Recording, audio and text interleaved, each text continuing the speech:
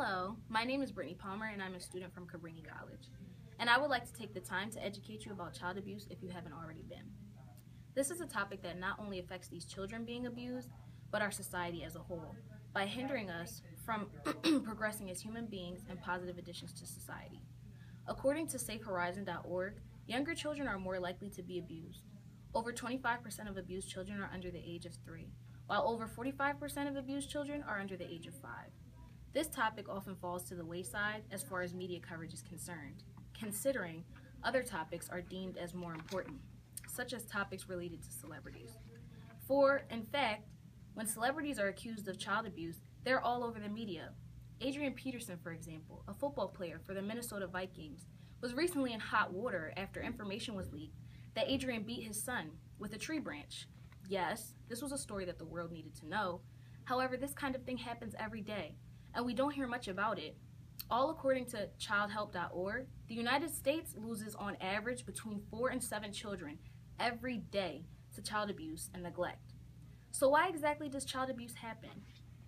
Queensland government believes child abuse stems from seven different reasons.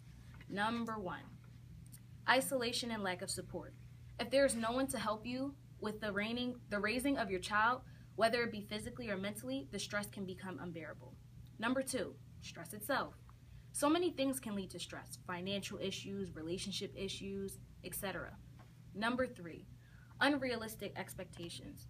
There are many people out there who want their children to be exactly how they would like them to be, when in reality, that's just not realistically possible. Number four, lack of parenting skills. If you were never shown how to be a parent, how could anyone expect you to be a good one? Being raised in an unstable environment can make you raise your child in one. Number five, drug and alcohol problems. You're not yourself under the influence of any substance or alcohol. Not being in your right state of mind definitely doesn't help you with raising a child. Number six, low self esteem and self confidence. Many know they aren't fit parents, but don't do anything about it.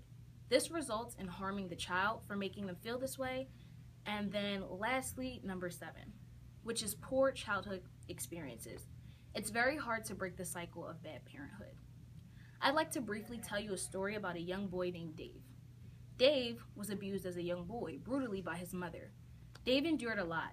He was often kicked, punched, and had to deal with things like a broken arm due to his mother and being burned repeatedly on the stovetop for hours, as well as being fed ammonia.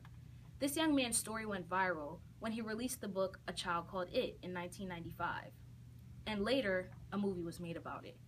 David's story is just one of many. These stories truly make you say something must be done about this. I'd like to encourage you to be more educated on this topic by visiting childwelfare.gov. Education equals knowledge, and knowledge means taking a stand on the issue that plagues us every day. The more we know, the more we grow.